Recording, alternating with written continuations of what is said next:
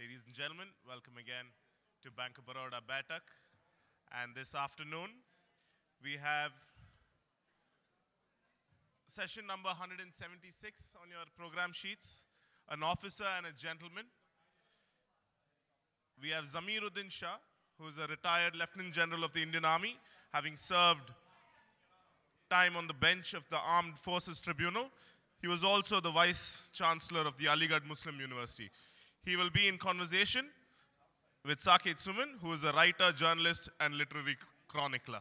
Please give a warm Jaipur afternoon's welcome to both the gentlemen. Thank you.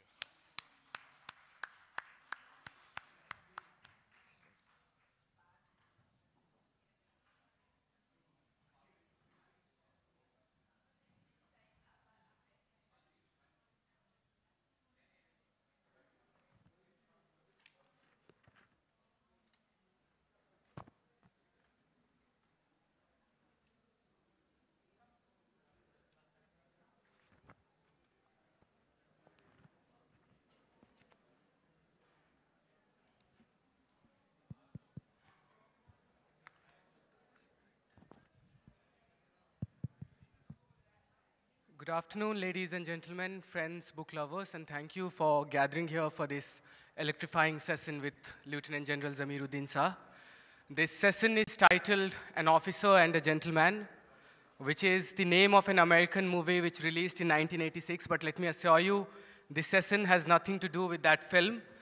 It will rather revolve around this book, The Sarkari Mussalman, which is the memoir of Lieutenant General Shah, and it released to much prominence in October last year. Now, as all of you must be aware that thousands of books release every year in India, but there are just a handful that make a mark and find their rightful readership. Lieutenant General Shah's book is one such, and it would be apt to say that of all the books that released last year, his memoir was the most explosive. So in this conversation that we are going to have with him, we'll deal with the subjects that he has touched in the book, and also what propelled him to write this book at this particular uh, juncture. Lieutenant General Shah, before we start, is a decorated army veteran.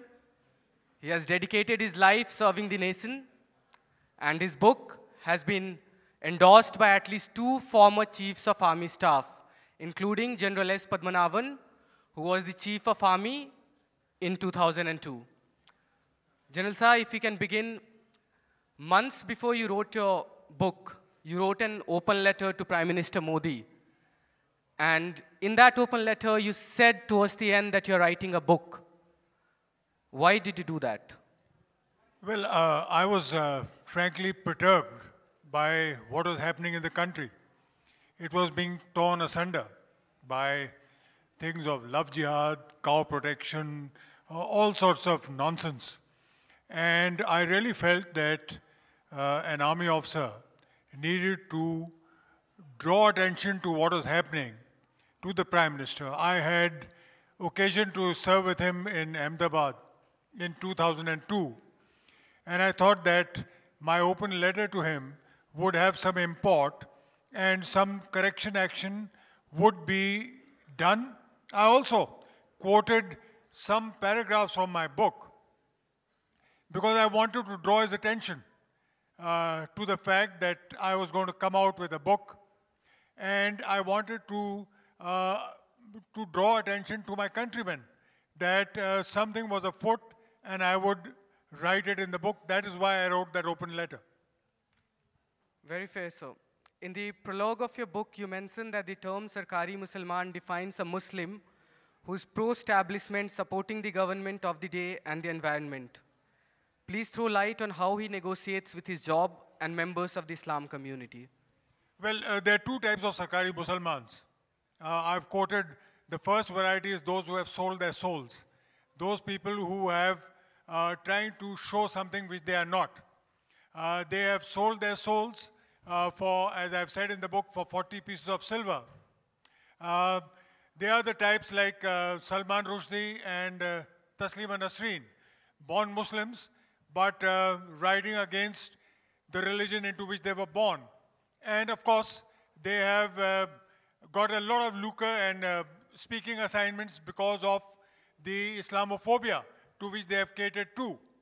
The second variety are really government servants who stick by the rules and are termed Sarkari Mussalman by their own community when they do not cater for uh, illegitimate or uh, well legitimate demands of their own community. So sahab ke पास जाना बेकार है सरकारी so this is the title the title of course why I chose this is this when I was uh, uh, a, second lieutenant, I met uh, about 10 or 12 young horsemen in Mussoorie. They had just participated in the Indian Military Academy Horse Show and I said here's a captive audience uh, I always wanted young Muslims to join the armed forces because I firmly believe that this is our country and we have a duty, a moral responsibility to join in the armed forces and contribute towards the security of our country. So I told them the importance the army attaches to horsemanship and polo. And uh, after I talked to them, I said, how many you want to join? Not a single hand rose up. I said, weren't you convinced by what I said? They all replied in unison, Janab, aap to sarkari Mussalman hai. That means what you are trying to do is project a government line. You are really a government stooge. But you're not. You're not a Sarkari Mussalman. Uh, no, I, I am really not. But I do tend to be accused of being one because I stick by the rules. I, uh, you know, the Sarkari Mussalman or uh, a Muslim government servant has to walk a very tight rope. He has to do a balancing act between loyalty to his job and to his country and loyalty to his community. He has to balance out both. Some Indian Muslims, unfortunately, go to the other extreme to gain acceptability. That means they do positive discrimination against their own community to be considered secular. That I think is positively wrong and it has to be guided, uh, guarded against so it's a, a, a tight, uh, uh, well, a balancing act which one has to do. You also mentioned that you never faced any bias in the Indian Army. Can you tell us some of the lessons that the country at large can draw from the Indian Army in treating of people from different castes, religions, and creeds? Well, I'll be no hypocrite. Uh, what to talk of bias, I always faced affirmative, act, affirmative action. Uh, people were always uh, very, very sympathetic to the fact that there was a Muslim officer. Uh, I served in a, in a Rajput regiment uh, where 100% of the troops were Rajput. Uh, they accepted the fact that I was, uh, well, I officiated in all the mandir ceremonies. And let me tell you, it was really not an act of worship. It was because I genuinely felt that the respect of the troops I commanded, uh, well, it needed to be uh, well, looked uh, to be uh, safeguarded. So um, a Muslim officer faces no discrimination at all. Uh, I never faced it. And that is the message I've been trying to convey in my book. Now I'll come to the portions of your book which relate to the 2001 attack on Indian Parliament. What brought you to Jaisalmer after the attack on Indian Parliament? And why were you surprised to get a call from the Chief of Army Staff, General S. Padmanabhan, on 28th of February 2002? Well, the, uh, the terrorist attack on the Indian Parliament was really on the, an attack on democracy. It was on an attack on Indianness. Uh, it was a dastardly act which the nation rightly felt that a riposte was required. And because of that, a general mobilization was ordered. Uh, my, I was commanding a formation of the strike corps in Secunderabad. And we were mobilized and moved to, uh, to I, my, my division, which was uh, of the strike corps, was stationed in a, in a place called Agulai, which is between Jodhpur and Jaisalmer. So that is what brought us there in September. Uh, I would say that uh, it took us a terribly long time to get concentrated in the area Agulai. Uh, you're talking of cold start. It took my formation two weeks to move from Sikandrabad to Agulai because of paucity of rolling stock. So I do hope that all that has been corrected and cold start really means a start right from scratch and within 48 hours or 24 hours you are ready for operations. So we were there for what we rightly felt was a riposte. The Chief of Army Staff visited us, left us in no doubts that it would be coming very soon, but unfortunately, or whatever it was, uh, it never came. You did get a call from General Padmanabhan on December 28, 2002. And why were you surprised when he called you? Well, I was, I got a call from the Chief of Army Staff, General Padmanabhan, or General Paddy, as we called him. Uh, you know, uh, the Chief of Army Staff speaking directly to a divisional commander, uh, it indicated, uh, I was really surprised because in the army you've got the hierarchy. He should have spoken to the, of course, I'm sure he did, to the army commander, to, would have passed it on to the corps commander, and then to the division commander. That's how things move. But uh, I think seeing the gravity and the urgency of the situation, the army chief, I'm sure besides addressing all the intermediate formation headquarters, chose to speak to me directly. And his message was short, quite crisp. He says, he called me by my nickname, that is Zoom. He says, get your troops into Ahmedabad and curb the riots. Uh, I told him, sir, it'll take me 48 hours to move troops to Jodhpur. He said, don't worry about that. It'll be taken care of the Air Force. So I think the urgency of the situation and the seriousness with which uh, the, the army wanted it to be dealt with, uh, well, uh, uh that was the reason for which General Padmanabhan chose to address me directly. Were you aware of the Godhra carnage before General Padmanabhan called you?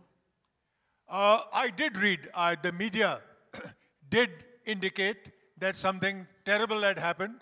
Um, uh, what was alleged. See, Godhra is a very uh, typical town. It was reminded me of Berlin when it was divided between east and west. The railway line divides the Muslim um, uh, Muslim localities from the from the Hindu localities. It's it's the dividing line, and the station uh, did have a lot of Muslim hawkers.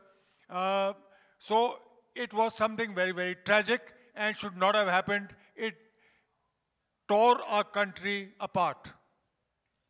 General Saab, before we move to the next segment, that is talking about what the army did in Gujarat when they landed, do you condemn the burning of the Sabarmati Express in which numerous innocent lives were lost? And what is your message to the fundamentalist elements from the minority community who resort to violence and clerics who later go and indulge in chest thumping? I certainly condemn any form of violence, especially against pilgrims who are returning back. But let me give you another side of the picture. Uh, my investigations, uh, I may be totally wrong, revealed uh, what happened. It was, uh, you know, the Kharsais was a young, uh, indisciplined mob, literally, who were in the trains. And uh, the version given to me was they, they raided a fruit stall uh, of, of a Muslim fruit seller. When money was demanded, they got back into the compartment and a melee ensued. Also, I am aware that the kar sevaks were cooking in their compartment, which is totally illegal and should not have taken place. So, I put a question mark on whether it was a deliberate. If it was a deliberate arson, I condemn it. If it was, well, an accident, still it's condemnable. Uh, an, an incident like that could, should not have occurred. And worst was the chest thumping by some Muslim clerics. It was the worst way to, uh, well, to uh, kick up a storm. Uh, obviously, no community would like the other, especially of the minorities, doing chest thumping into a tragedy like that. And that, I think, inflamed passions. Worst was, I think, the permission given to bring the dead bodies uh, from Godhra to Ahmedabad. That was, well, an unforgivable, forgivable um, decision. It should not have been taken. It really inflamed passions, and rightly so.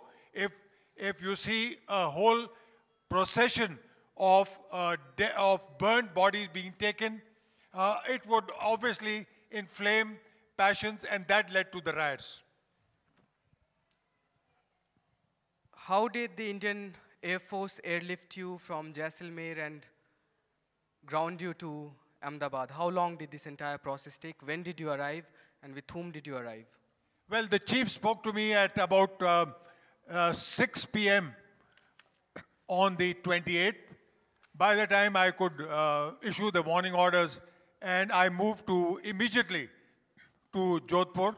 I had taken the precaution of taking my communications, my aide-de-camp, and my vehicle. Uh, the Air Force did a Herculean task uh, during that night of 28 February 2002 and 1st March uh, 2002. 60 flights, 60, mind you, that is not, um, that is a Herculean task. You can imagine the seriousness with which the nation had taken the riots and we flew in uh, 3,000 troops. Uh, I landed at the Jodhpur airfield at about midnight of the 28th of February. And when we were approaching the city, I found the whole city aflame. There were fires burning all over the city. We landed on a dark and deserted airfield. There was one solitary brigadier to receive us. There was no representative from the state government. Uh, well, I got down, it was around midnight, and I asked him, What had been promised to me was that once your troops land, I was advised to travel light, don't take any heavy baggage, just the troops with their beddings and their weapons. Uh, I, of course, had taken my vehicle, uh, so I asked the brigadier, who was a coursemate of mine, I said, uh, Where's the transport which was promised? Where are the magistrates? Where are the police guides? Where are the maps? Where are the communications which were to be provided? Because our high frequency sets did not work properly in high rise buildings. He just shrugged his shoulders and said, Look, the civil administration will, will provide you all that. So I said, Where's the representative of the state government? Where's the chief secretary? He says the chief secretary is abroad. So I said, Who's officiating? He gave me a number. I tried desperately to get through to the, to the officiating chief secretary. She, it was a lady, she didn't bother to answer my phone. Obviously, she won't at midnight. So I decided that the best course of action is to head directly to Mr. Modi's house, which I did, and I reached his house at about, We'll come to that. okay, We'll come to that, General Sir. For the benefit of the audience, Sabarmati Express was burnt on the 27th of February. The retaliation action by began on 27th evening itself. By 28th, violence had spread out to almost all parts of Ahmedabad and rest of Gujarat as well. Army was called in on 28th evening. By midnight, on the intervening night of February 28th and March 1st, you arrived at Ahmedabad Air Base.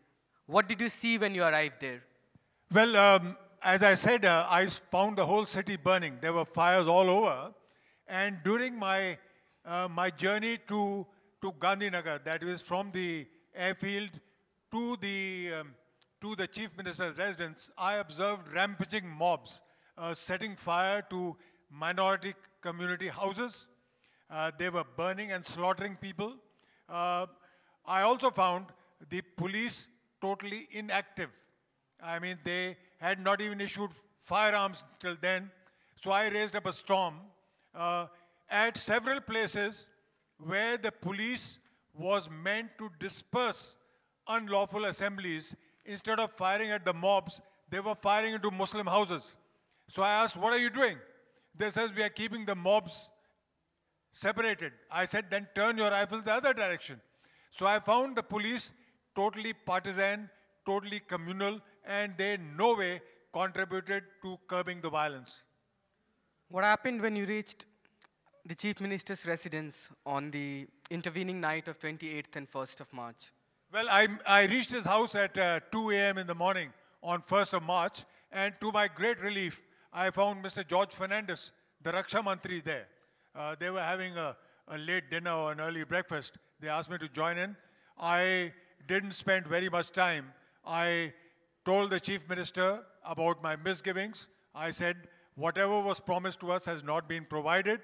Uh, we need maps, we need magistrates, we need police guides, and above all, we need um, transport because we have not brought any. Uh, I also, uh, I had taken the precaution of taking a tourist map. And on the tourist map, we highlighted all the trouble spots. When I had, uh, I was told where to deploy the trouble spots. Saurashtra was indicated as one of the trouble spots. Uh, when my troops went there, they reported that nothing was happening. So I pulled them back and redeployed them. So after that, I came back to the to the um, to the Ahmedabad airfield and supervised the unloading of the troops. Uh, by early next morning, uh, the road convoy from uh, Agulai had also fetched up. So 3,000 troops available at Ahmedabad airfield. Uh, well, uh, doing nothing except hearing the sounds of firing. And uh, well, uh, it was something which was most upsetting and annoying. Uh, here we were to quell the riots, but could do nothing about it without the wherewithal of the state government. So you're saying that by 7 a.m. on March 1st, 2002, more than 3,000 troops of Indian Army had landed in Ahmedabad Air Base. That's right. In fact, uh, Mr. George Fernandes visited us at about 10 a.m. on the 1st of March, where again reiterated the problems. Uh, he promised that something would be done. Uh, all we saw was a Director General of Police who reported to me and said, he's the liaison officer, uh, detailed with my headquarters. Again, I told him the urgency of the situation and our requirements. Uh, we were told that uh, the transport would fed up. I, I uh, stressed the Herculean effort by the, by the Air Force. It would have all gone to naught because of the unavailability of transport. So what did you do for the next 24 hours? Well, I could do nothing. Uh, we've been accused of inaction. I mean, people have been saying that the army was there. Why didn't they venture out? into the city. Uh, ladies and gentlemen, there's a protocol followed by the army whenever they are called for aid to civil administration. I mean, you cannot just march in, shoot people, and, uh, well, uh, uh do a, well, sort of resort to, to, um, to strict and firm action. You need magistrate, you need police, you need communications, and you need maps. Without these, we could do nothing. So we chose to, to, uh, to stay inside. We carried out a series of uh, training instructions uh, to the troops on how to deal with mobs. And that was all that we could do. Mr. George Fernandes came in at, as I said, 10 o'clock. He held a Sainik Sammelan. I collected all the troops and he told us, uh, he impressed upon us the urgency of the situation and the need to be fair and well proper in whatever we did. In your book, you mentioned that these, 20, these 24 hours on March 1 were crucial hours. Why do you say that? Well, uh, we could hear the, the sound of uh, firing. There was uh, a lot of firing going on in the city. And uh, if you go by the averages, uh, I would say that about um, if you go by the averages of about 3,000 casualties, I think in one night we could have, if we had been provided the wherewithal, saved about five to 600 lives. Uh, that those were crucial lives lost because the civil administration was incapable of doing what the Air Force had done, a Herculean task. I know it is very, very difficult to impress civilian transport. But if there was a will, I'm sure it could have been done that night. So one, when did you finally get the transport guides and other things that you were promised? Well, the transport, the magistrates, and everything else rolled in on the morning of 2nd of March. That was uh, more than 24 hours after we landed. And what did you do after that? How did you quell the riots? How long did it take? Well, we took uh, 48 hours to quell the violence. Uh, we had issued orders that any arsonist seen burning house was to be shot. No quarter was to be given. Uh, the troops did a commendable job. They didn't bother what community, what caste, what creed. They just felt that there were a task to be done. And what? Uh, well, five times the strength of the, we, we had, uh, well, six battalions of the infantry in Ahmedabad. What hundred and some odd companies of the paramilitary and the police combined could not do. 24 companies of the army did within 48 hours by firm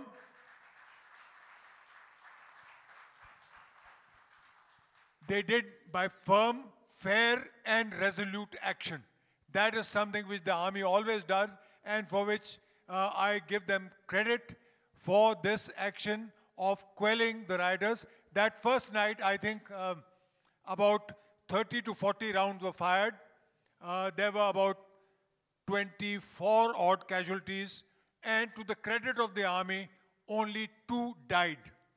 The rest were bullet hits below the belt. That means the aim was not to kill the arsonist, but to injure him so that it would have uh, an effect on the, the arsonist. And I think it did have an effect. Within 48 hours, we had restored sanity and quelled the riots. You also mentioned politicization of the police force in Ahmedabad in the rest of Gujarat. What makes you say that the police was compromised? Did you see politicians inside police stations? Uh, let me tell you a very interesting thing about the Ahmedabad police at that time. They were clearly in two camps. One was pro-chief minister and the other camp was anti-chief minister. Uh, I got a lot of inputs from the police who were anti-chief minister, and of course from, from everybody else. And of course, I made it a point to go around uh, to all parts of the city to make sure that instructions were being carried out. At most of the police stations, I found the local MLAs present in the police stations giving directions to the SHOs. And uh, whenever uh, there was a, a majority mob, the police always found an excuse to melt away.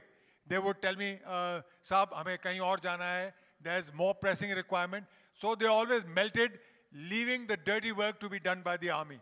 Uh, I am certain that the local politicians were uh, exerting influence on the local Uh, uh, uh, thanedars and exerting pressure, which should not have been done.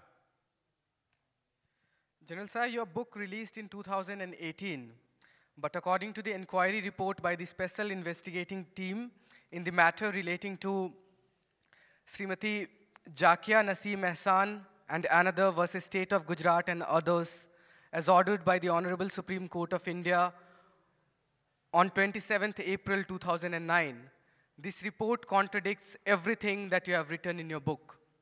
Now I'm going to read out portions of this report which is contradicted in your book. And I want you to react to them whether these were what you saw on ground or no. I'm reading from between. It may be added here that the army headquarters had been alerted on 27th of February 2002 itself. However, inquiry with the local army authorities revealed that no force was available in Gujarat as the same had been deployed at the border. True or false, sir? Uh, I always uh, I didn't know what the SIT had, um, had reported till it was brought to my notice after the book was published. And I was pretty horrified to find that the, that the SIT report totally contradicted what I had written and which was the actual truth. Army officers report they have no political affiliations, they have no axe to grind. They report what actually happens. Uh, I uh, to give, well, to be, um, uh, I think the SIT uh, just took the inputs given by the state government. No, sir. Do you agree with this part or no? It may be added here that the army headquarters had been alerted on 27th February 2002 itself. However, inquiry with the local army authorities revealed that no force was available in Gujarat as the same had been deployed at the border. Yes, that's right. Uh, on 27th, there was no army in, uh, in Ahmedabad. They were the, uh, the of, of, of a formation which had been deployed for the holding formation. They were not part of the strike corps, so they were all committed. And Ahmedabad had been totally denuded of any army force, totally at all. There were no troops there. All right. It goes on to say that the deployment of the army required additional logistic support by the civil administration in the form of executive magistrates, vehicles, liaison officers, guides, and maps. The district mag magistrate Ahmedabad provided six buses, nine trucks, 15 jeeps for army use by 2.30 hours on 1st of March 2002, just when you had met Mr. Modi. The SIT report says you had got six buses, nine trucks, and 15 jeeps for army use by that time. I'd like to ask them who did they provide them to? Uh, ladies and gentlemen, that is a blatant lie. I've been saying so. That is a blatant lie to cover the, the, the, the inadequacy of the support they provided. They provided nothing of the sort till 2nd of March 2002, and I stand by what I say. The SIT report says these things on the basis of a testimony given by Sri Ashok Narayan, the then ACS Home. Now, it might be noted here for the benefit of the audience that this gentleman was appointed in this capacity in December 2001. In December 2001, just two months before the riots took place. Now, it goes on to say a total number of 131 vehicles, 18 mobile phones were provided to the army for better communication, 32 executive magistrates, liaison officers and escort officers from the police were provided to the army on 1st of March 2002. That is a blatant lie again. Uh, we were provided the wherewithal only on the morning of 2nd of March 2002. These are all state government servants trying to cover their tracks for the total inadequacy of the support. General Sir, since the SIT report came before your book, it came much before your book. What evidence or do you have any witness or evidence to back your claim? Well, well, the, the army has got to accept the, work of, the word of a soldier. We are taught never to lie. But let me tell you, Saket, let me tell you that the 3,000 troops who participated in Operation Aman, that's what we called it, will stand by every word I've written. And I've got it in writing. Uh, also, also, the chief of army staff at that time has backed whatever I have written. I also rendered a report called After Action Report Operation Aman, which I clearly spelt out the problems faced by us, the actions taken by us, and the creditable job done by the armed forces. Uh, I gave it to uh, the to my chain of command, to the corps and to the command headquarters. But I also went to General Padmanabhan's office and gave him a personal copy. He was not there, unfortunately, but his uh, staff officers confirmed to me that that had been handed over to General Padmanabhan. General Padmanabhan, when he met me several months later, confirmed and told me that he had gone to the Prime Minister and gave him the report and told him, Mr. Prime Minister, read what the army has to say about Operation Aman. The country is being torn asunder by these communal troubles, and the sooner we take action to curb this menace, the better.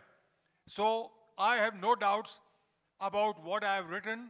Uh, another very, very important thing every action of the army when you are so deployed is recorded in a document called the war diary. Now, nobody can challenge what a war diary contains, and I'm certain that the war diaries of the battalions who had been committed will back by every word which I have written in the book. You also contest the official figures of death that the government presented in the parliament. Do you think that was minimized? Uh, the official figures, uh, I am certain that they are incorrect. Uh, the, the official, I think the toll was far higher. Uh, let me tell you that for the first two days after we, we were committed, besides curbing the violence, we were also recovering dead bodies from wells, from whatever places they had been, uh, well, discarded, and we, we gave mass burials for, of, of the dead. Uh, this was something that the army did. So I think the, the official toll was far higher than what was actually reported. Of the, of the 30 allegations made by Zakia Ehsan Jafri in the court, allegation number 14 was that there was an undue delay in deployment and requisition of army. Now the SIT found that the allegation that there was an undue delay in requisition and deployment of the army is therefore not established based on the testimony of ACS Home Ashok Narayan, who was appointed in his post just two months before the riots took place. So I want to ask you, were you ever called by the SIT to present your side of the story before reaching to the conclusion that there was no delay in requisition or deployment of the army? Was the army ever called in the first place? No, the army was never called by the SIT. I mean, the army should have been one of the people who should have given evidence. But what the SIT did, they only went back to the state administration who were covering their tracks. So all the facts and details given by them were totally false and fabricated. The SIT never consulted me or the armed forces. For the benefit of the audience, the SIT was headed by R.K. Raghavan, who's today the ambassador, India's ambassador to Cyprus. I did try to reach out, reach out to, to him.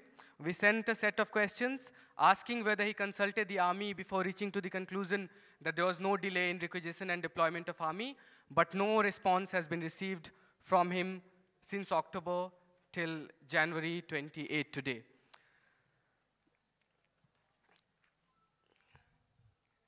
Interestingly, General Saab, do you consider yourself a whistleblower? Because you have written a book when people are questioning the timing of your book. Do you consider yourself a whistleblower then? Uh, I do not consider myself a whistleblower. I think that's a, that would be a demeaning uh, sobriquet which would be attached to my name. If I have to say something, I say it clearly. Uh,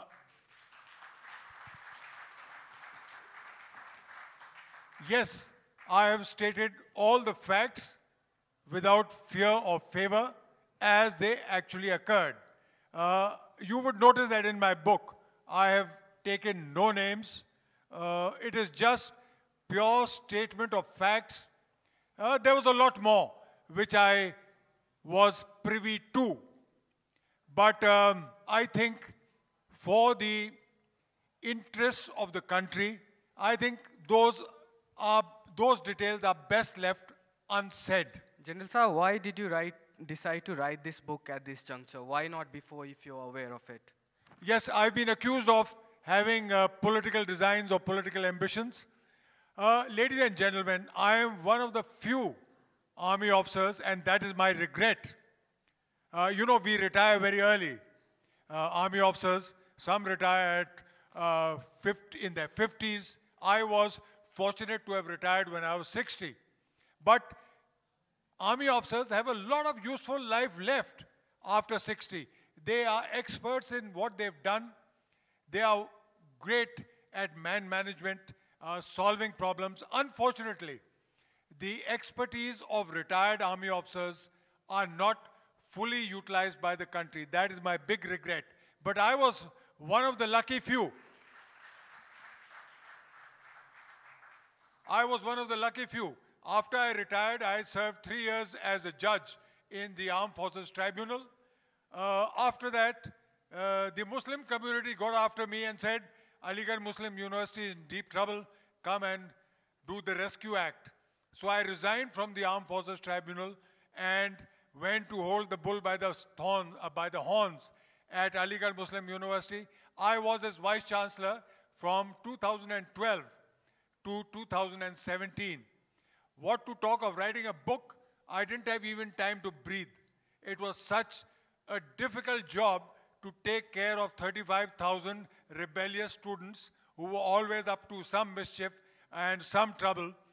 Uh, after I demitted office in uh, 2017 May, I got a year and a half to ponder about my life. I mean, I've not only been a soldier, I've been a diplomat. I served for three and a half years in Saudi Arabia. I've been a judge. And then I was the vice chancellor or what in the American universities you call the president of, a, of the leading university of the country.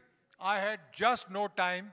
After that, from May 2017 to October 2018, that is about a year and a half, I got my thoughts together and wrote the book. The book in no way has any political design. It is just that I got no time to write it. What is the reaction of members from the armed forces to your book? Well, um, I got some reactions from the members of the armed forces. They felt that the title really, my old uh, general officer commanding in, uh, in Punjab, he says, Zameer, that is a very parochial title. Uh, when I explained to him that there was nothing communal in the book, it is a title which was in my subconscious for a very, very long time. I had also been accused of being a Sarkari Mussalman because I went by the rules when I was in Aligarh Muslim University. The community, the community expected a lot from me. But rules had to be abided. We had to go according to what the AMU Act said. So um, the, the, uh, uh, I've been castigated by some members of my own community for not coming out clearly, for not spelling out the full facts. But ladies and gentlemen, what weighed in my mind is that I should not reopen any old wounds. And my writing, this is very, very important, my writing should in no way close the doors of the armed forces for members from the Muslim community. That was something which I hold very dear. Uh, we must participate in the defense of our country. More and more Muslims must get into the armed forces and contribute towards its security.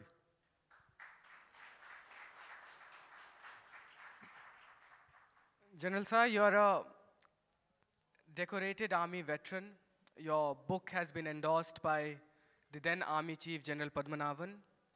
You're a career patriot. You dedicated your life to serving the nation. But no sooner did your book come out that you're vehemently attacked, you were trolled on social media, you were even labeled anti-national by some. Your brother Naseeruddin Shah an actor par excellence, recipient of multiple awards. But the moment he expressed his dissent on the present state of affairs, which he may felt is happening in the country, he was castigated too in the same manner. What do you make of this present situation as a, what do you make of the present situation as somebody who has dedicated his life to the country and is then being castigated? Well, uh, I've been stressing that dissidence is not disloyalty. Unfortunately,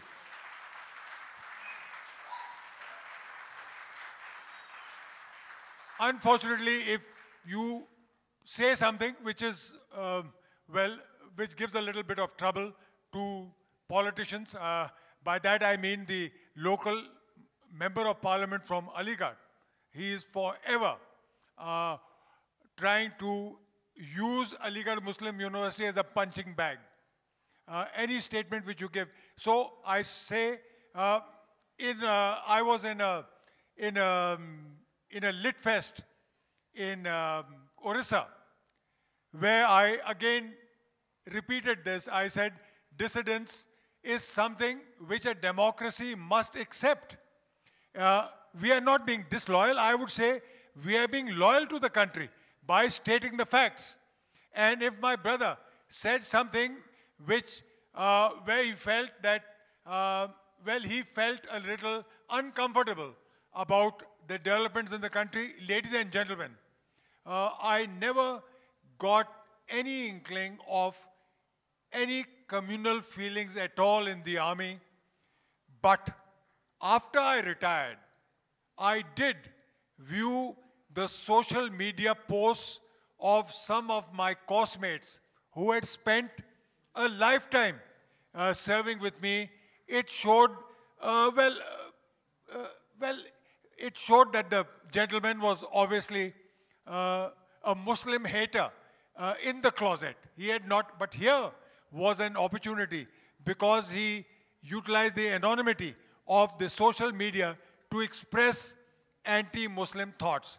I was very perturbed by that and it is, may, it is found uh, mentioned in my book.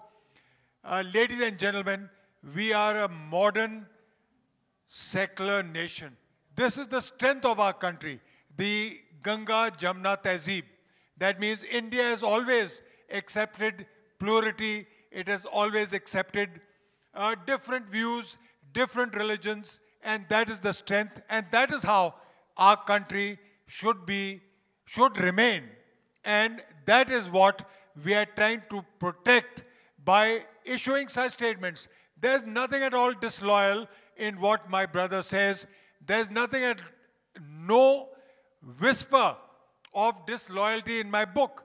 It is all an attempt to motivate young people to learn what the army is worth and motivate them to join the armed forces.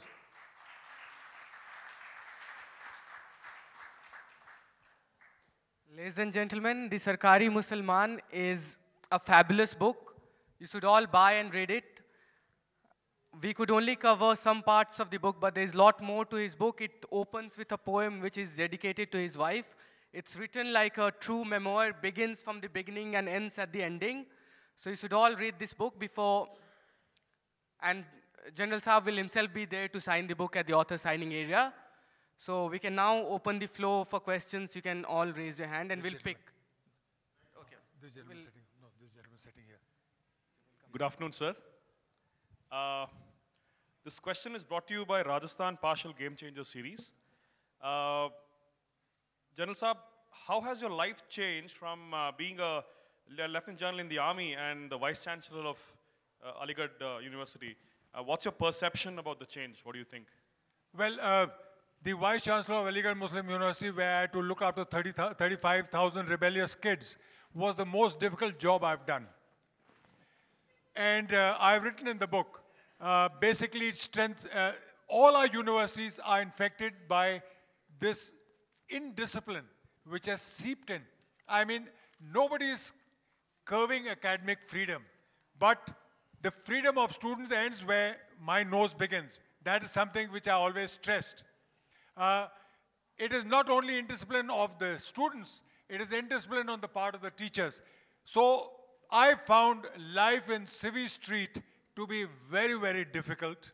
Let me assure you that um, I found it uh, the, the charmed existence. Uh, let me tell you that the army was 40 years of happiness. It was 40 years of, of course, it was very, very difficult, very tough. I had long periods of separation from my family. I couldn't see my children growing up. But let me tell you, work on Civvy Street is far more difficult than the army. Uh, General, I must on your uh, reticence in the book. I'm quite familiar with the Gujarat riots. I've interacted with officers who were part of your division. Their sense of frustration was so immense that some of them possibly may not, you may not be aware also that some of them commandeered vehicles, commandeered vehicles because they could not bear the thought and sight of people being killed ruthlessly. And it, it is a blot. It is a blot. I'm a Gujarati, so I can say this. It is a blot on our nation. And we should all be ashamed of it. And I commend you that you have, you have You have a question, sir? you remained balanced on this. My point is that why remain balanced? Why didn't you come out with the full facts? And the second question, what was that going on between you and Ms. Smriti Irani? Look, it is very easy to be a whistleblower, but as I have said, I do not, I, I know a lot of uh, facts which actually happened. Uh, I have seen some terrible things happen, but it is better to leave it buried. Uh, I, I, I believe that. It's better to leave it buried. Uh, I've been uh, castigated by two of the leading Muslims uh, and uh, there's a there's a lawyer uh, in uh, in uh, Bombay who really castigated me, criticized my book because they felt that I was not enough of a whistleblower. I just left it at that. Criticism to me has been more from my own community than anybody else. I repeat that uh, we have to be, we have to look forward as to, uh, it's all very well to be a whistleblower, but if it leads to another riot, then there's no point in being a whistleblower. Uh, as far as uh, Mrs. Smriti Irani is concerned? Okay. Okay. Uh, my, I'll, I'll tell you later, but she detested me from first sight. Uh, basically because at every vice chancellor's conference, I always stood up and pointed out things which, with which she was uncomfortable. Uh, I will explain to you in private, but our relationship was not at all warm. All right, there's a question Hi. here, then to the gentleman over there. Good afternoon, sir, and many congratulations for coming out with such a truth. There, there's one thing that I have, I want an answer. Like, there are two truths. One is uh, one with which you have come out in your book, and one of the SIT, as Mr. Saket pointed out. Both of them cannot be truth. One is a lie, and one is not a lie. One has been accepted by the court, and one has not been proved yet. So, will you do something for that? Or will we accept the SIT? His question fact? is whether you will be willing to testify in the court if need be about what you have written in your book. If the court summons me, I will testify. If the court summons me, I have been silent so far, but if I am summoned, I will testify and speak the truth. And let me tell you, ladies and gentlemen, there will be 3,000 people to support what I say. There will be the war diaries.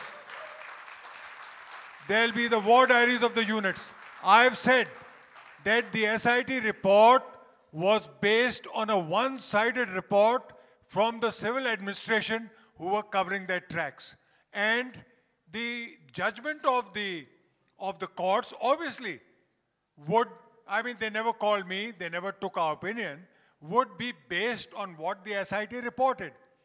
Uh, ladies and gentlemen, I stand by what I have written.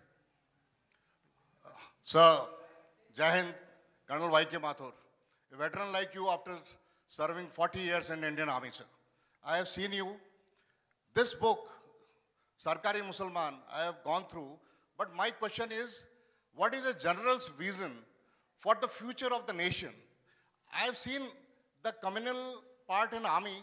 We know something for the audience. please keep it to the question. We don't have yes, so sir. much time. I'll just finish. Our question is the same, sir. I'll just elaborate army point of view, then general will answer. We don't have time. We okay, just sir. have two minutes. Just so come my to the question, question. My question is straight, sir.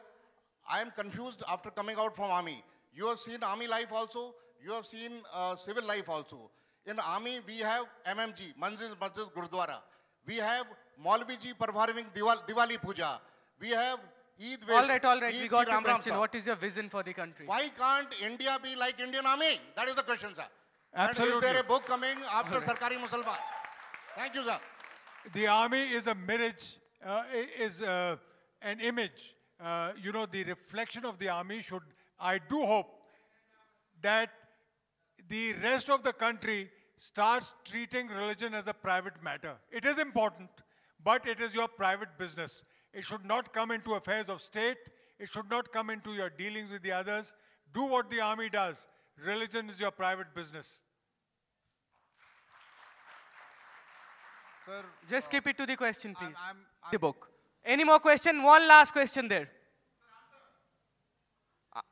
All I can answer is that um, you will find every answer in the book.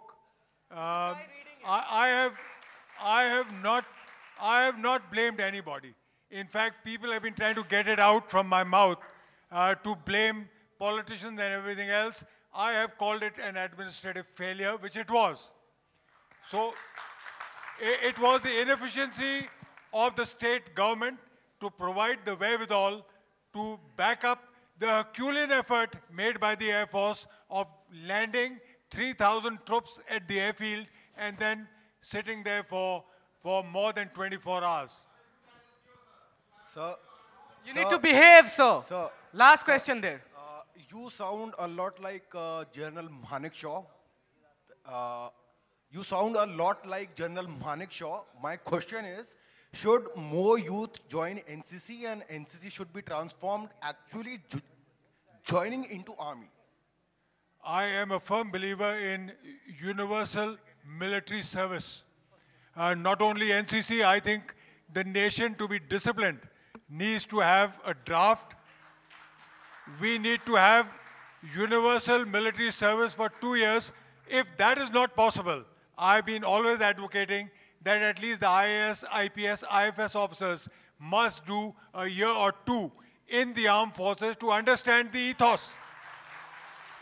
Uh, and of course, NCC should be, should be made compulsory. Totally, I have no doubts about that.